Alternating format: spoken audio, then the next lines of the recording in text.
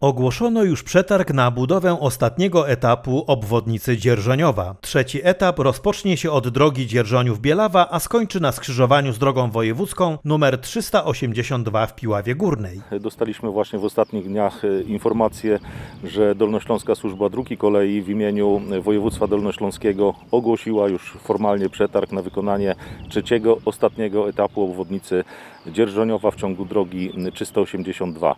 E, Mówi się o obwodnicy Dzierżoniowa, natomiast to jest obwodnica oczywiście, która komunikuje Dzierżoniów, ale również Bielawę, Pieszyce, gminę wiejską Dzierżoniów.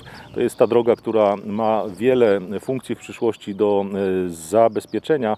Dla Dzierżoniowa szczególnie chodzi o odciążenie komunikacyjne, żeby ten tranzyt nie przejeżdżał przez całe miasto, a powiem, że e, ze Świdnicy do Dzierżoniowa codziennie wjeżdża około 15 tysięcy samochodów.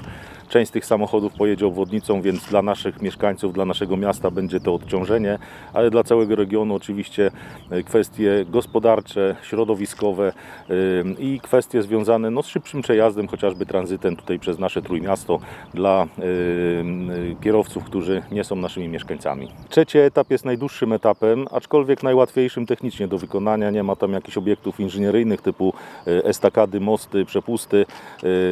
E, skrzyżowania są w miarę łatwe do wykonania. No i cała e, droga przebiega przez odcinek, odcinek rolny, więc nie będzie jakichś kolizji, konieczności zatrzymywania jakiegoś nadzwyczajnego transportu. Odcinek będzie miał długość około 6 km, czyli najdłuższy. Cała obwodnica 14 km.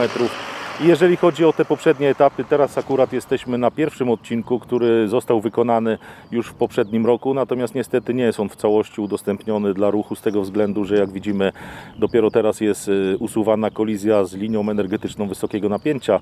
To kwestie tutaj formalne, proceduralne przeważyły, że po prostu nie można było tego wcześniej zrobić i inwestor, czyli województwo dolnośląskie dopiero teraz uzyskało niezbędne pozwolenia, no ale z tempa prac widzimy, że lada moment, myślę, że kilka tygodni ten odcinek od Świdnicy do e, zjazdu z na Pieszyce będzie w całości otwarty. I to jest pierwszy odcinek. Drugi odcinek jest wyłoniony wykonawca. Wykonawca teraz dostosowuje dokumentację projektową do aktualnych e, potrzeb. E, przede wszystkim tutaj chodzi o tą kolizję z linią kolejową Dzierżoniów-Bielawa i z drogą wojewódzką 384 z Dzierżoniowa do Bielawy. Tam jest przeprojektowywane skrzyżowanie z typu rondo na skrzyżowanie ze światłami, które będą regulowały natężenie i przebieg tego ruchu drogowego, no to się wiąże niestety z nowym projektem, nowymi uzgodnieniami środowiskowymi, wykupem również części gruntów, bo wbrew pozorom tam pas drogowy jest szerszy przy takim skrzyżowaniu niż przy skrzyżowaniu typu rondo, ale wykonawca za chwilkę również po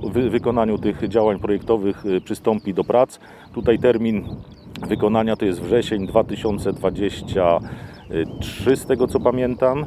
Natomiast ten ostatni odcinek, na który teraz został ogłoszony przetarg, y, przetarg duży, unijny na kilkadziesiąt milionów złotych, więc też kilka miesięcy potrwa postępowanie przetargowe, ale od momentu podpisania umowy z wykonawcą, a może to nastąpić pod koniec tego roku, również wykonawca będzie miał 36 miesięcy na zakończenie prac, czyli licząc y, y, tutaj miesiącami, latami, wynika z tego, że pod koniec 2024 roku cała obwodnica powinna być otwarta dla ruchu i spełniać rolę dla naszego tutaj regionu.